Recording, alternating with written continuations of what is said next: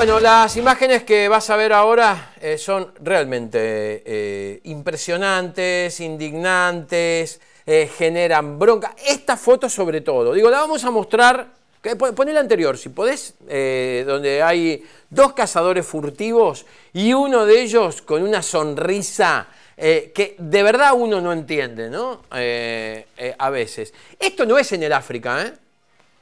Eh, esto no es en una zona permitida para la caza furtiva en, no sé, decirte, eh, en el... Eh, en la yunga brasilera o en el bosque, en el Amazonas. No, esto es en la provincia de Formosa. Y lo que ves ahí asesinado, quiero dejarlo claro, asesinado es uno de los pocos yaguaretés que hay en la República Argentina, que han, eh, bueno, se han podido reinsertar muy de a poco gracias a un enorme trabajo que, entre otros, ha hecho la red eh, Yaguareté en la República Argentina. Bueno, ¿qué pasó concretamente? Eh, son cazadores furtivos que muy vanagloriados de su logro, eh, cierro comillas, abro y cierro comillas, eh, mostraron a un jaguarete muerto, pero no muerto por algo natural, lo mataron. ¿eh?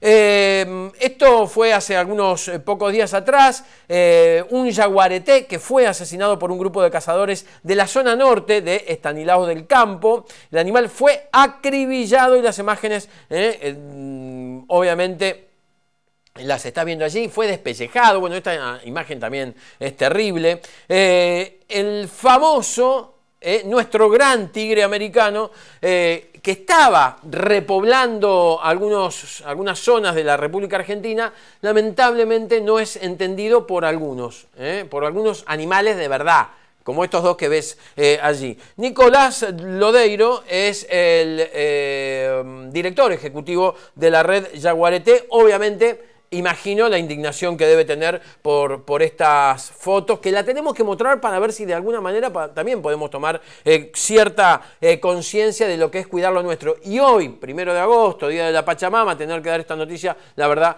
nos hincha un poco. Nico, Pablo Sigliutis ¿cómo estás? Bienvenido, buen día.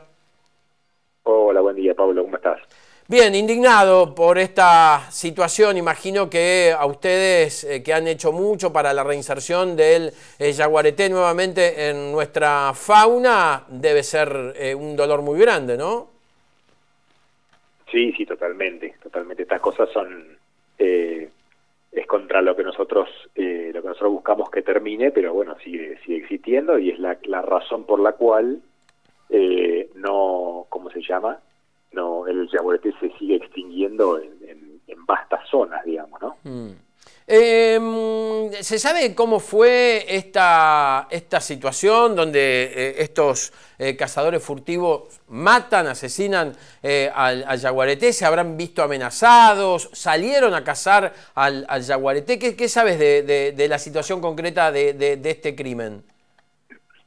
Ah, bueno, la motivación, digamos, de por qué lo, lo cazaron no, no, no, no la sabemos todavía.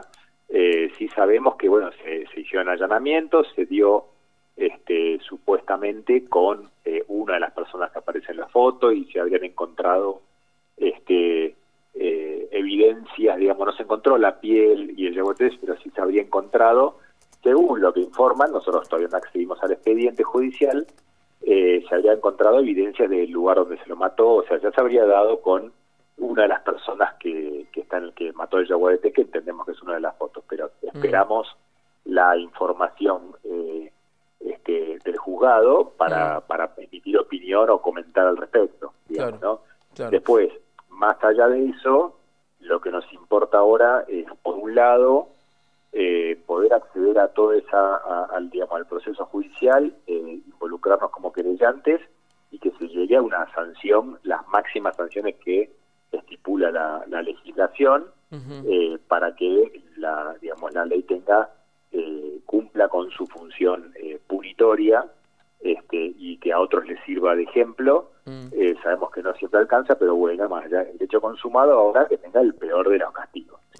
¿Cuál sería el castigo, Nicolás? Vos, vos que estás obviamente metido de, lleno en, esta, en estas situaciones, digamos, ¿qué, ¿podría ir preso el que mató, lo que mataron al, al Yaguareté? Mira, es difícil que vaya preso porque la, la, la, ley impone hasta una pena de hasta tres ah, años de prisión, que en Argentina es encarcelable. Habría que ver si se encuentra algún tipo, otro tipo de agravantes, si tiene antecedentes penales, etcétera. Eso puede hacer que lo haya. De todos modos, tenemos entendido que está detenido, con lo cual ya está empezando a eh, tener consecuencias que muchas veces tiene consecuencias eh, que no son directamente las sanciones. Por ejemplo, eh, si tiene que contratar a un abogado, un abogado suele eh, salirle bastante caro para defenderte de un tema que te puede llevar a la cárcel. Y por otro lado, más allá, digamos, vos, ah, cuando vos, cuando alguien mata un yaguarete, se abren dos vías. Una vía penal, que es esta, la que puede tener una, una sanción de cárcel, ¿no es cierto? y, o de pena, de de, condena penal, que a veces por ahí no te lleva a la cárcel, pero por ahí te inhabilita para alguna cosa, digamos, ¿no? Para acceder a un crédito, para acceder a algún beneficio, etcétera, etcétera. Y por otro lado, hay una sanción económica, una multa económica, que sí son siempre muy altas, mm. muy altas, y veremos cómo llega. Eh, así que bueno, ahora vamos a ser custodios eh, de eso para que llegue, eh, para que eso se cumpla. El gran desafío acá es aguantar. ¿Por qué? porque estas cosas suelen demorar mínimo tres años. De acá hasta que hasta que sepamos si un tipo lo condenaron, después apeló, qué sé yo, mínimo te pasan tres años y no cinco. Con lo cual es eh, nada, hay que tener aguante, paciencia y, bueno, es así, ¿no es cierto? Eh, hoy estamos con, con situaciones de esas de, de, de hechos ocurridos hace tres, cinco años, así que eh, sabemos que es así. Claro, Por otro lado, Sí, sí, termina, termina, termina vos porque eso es muy interesante escucharte. ¿eh? Y, por otro lado, eh, eh, también estamos reforzando y retomando muchas cuestiones que venimos planteando siempre en los grupos de gestión, donde las causas que llevan a esto no han sido abordadas como mm. nosotros creemos que deben ser abordadas, y entonces estas cosas siguen ocurriendo, ¿no? Mm. Entonces, que te diría que es más importante que lo otro, porque la idea es que no lleguen, digamos que no, que veamos los yaguaretes vivos en las cámaras, sino muertos en los celulares, ¿no es cierto? Ese es el objetivo de fondo.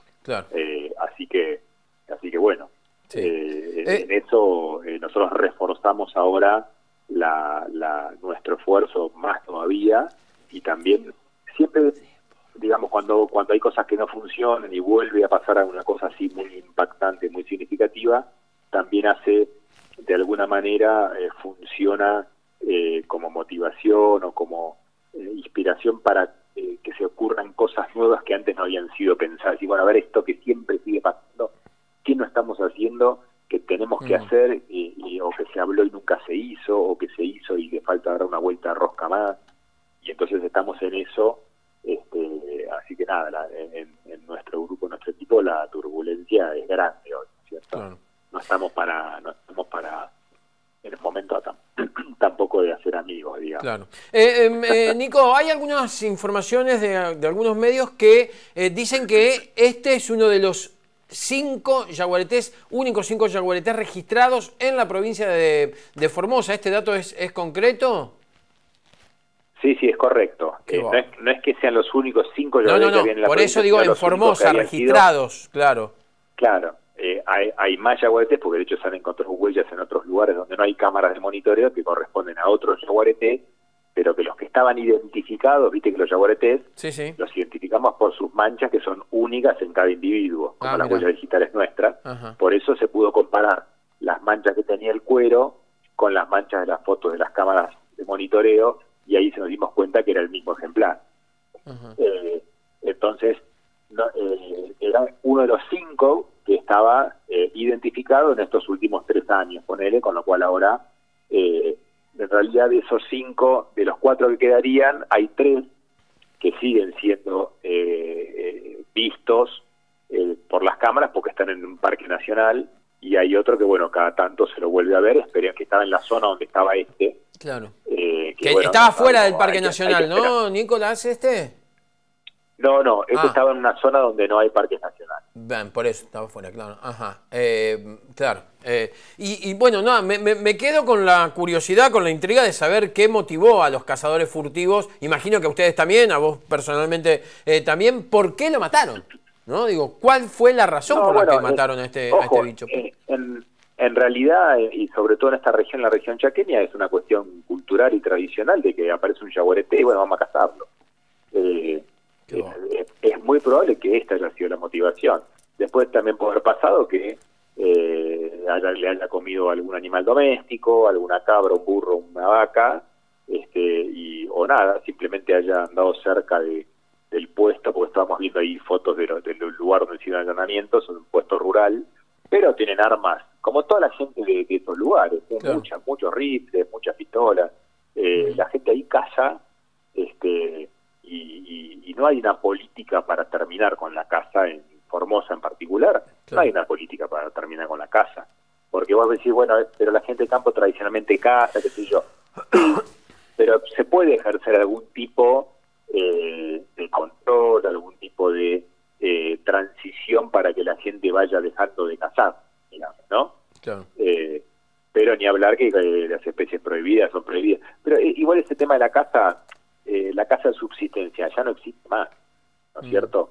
En muchos lugares sí se practica por ahí eh, una casa como un complemento de dieta, eh, pero bueno, tampoco es algo que se haya abordado, evidentemente de manera sustancialmente eficaz para que, por ejemplo, se pueda permitir algún tipo de casa para suplementar dieta, ¿no es mm. cierto?, de determinadas especies pero que tenga con la suficiente claridad de que no se tocan determinadas otras especies, ¿cierto? Eh, así que bueno, eh, evidentemente por alguno de esos lugares la falla vino y el hombre se nota perfectamente que es un hombre, de los cazadores, que es gente bien de campo, acostumbrada a cazar, porque se nota cómo trataron al animal después de matarlo. ¿No? Como le sacaron el cuero de manera prolija. Sí, sí, aparte a uno se lo ve sonriendo, viste, de fondo el segundo que se ve de bigote, se lo ve como sonriendo, como contento por, por, esta, por este asesinato, digo, lo voy a, decir tal cual lo siento. cualquier cazador que cualquier cazador que caza está contento cuando logra una pieza y, y, hay, y no cazan un jaguarete todos los días. No es que eh, capaz que nunca cazaron un jaguarete estas personas en su vida o capaz que el último que cazaron fue, no sé, hace 10 mm. años, ¿entiendes? Sí, Entonces... o nada, eh, eh, qué sé yo. Eh, sí, triste no está, es un trofeo importante y esa piel está tratada o para conservarla o para venderla, digamos, para hacer algún tipo de aprovechamiento, ¿no? Es mm. que, y lo mismo que el jaguarete está ahí acolgado, fíjate que está desollado, seguramente también habrán aprovechado la carne porque se consume la carne de cualquier especie de monte, jaguarete inclusive se consume. no creo que casi, digamos, no conocemos que casi que vayan a buscar jaguarete para decir hoy tenemos ganas de comer jaguarete pero una vez que ya está, eh, sí, va a parar la olla también. Seguro. Eh, Nicolás, te, te, agradezco por este ratito. Es realmente doloroso ver esta eh, imagen. entiendo que hay que seguir educando, que hay que seguir enseñando sobre nuestra fauna autóctona, lo que costó, lo el laburo que les costó tomar conciencia a mucha gente para que esto no ocurra. Bueno, eh, aparece alguno que o no sabe o no se dio por enterado o simplemente, como decías vos, festeja porque quizás en su vida había cazado o visto un jaguarete eh, y lo tiene allí, allí muerto. Si te parece, en algunos días volvemos a hablar para, bueno, eh, insistir con esto de la conciencia, ¿no? De lo importante que es tener y cuidar a nuestra fauna autóctona. Vos que sos director ejecutivo de la red jaguarete, imagino que tenés mucho para, para contarnos. Así es. Y te digo una cosa, no alcanza con la toma de conciencia. No. Tiene que estar tiene que seguirse de acción. En estos casos en particular, la digamos la educación ambiental, como suele llamársele, eh, además de que ser, tiene que ser buena, obviamente, no alcanza por sí misma. También tiene que haber acción de control y fiscalización de casas. O sea, la casa está prohibida, no tiene que ser permitida. Cuando esto eh, esta, esta norma se viola, tiene que tener consecuencias. Cuando las cosas no tienen consecuencias, eh, entramos en serios problemas. Entonces, hay que hacer eh, esta educación y concientización que vos decís, pero también tiene que estar alcanzada de control. ¿Por qué?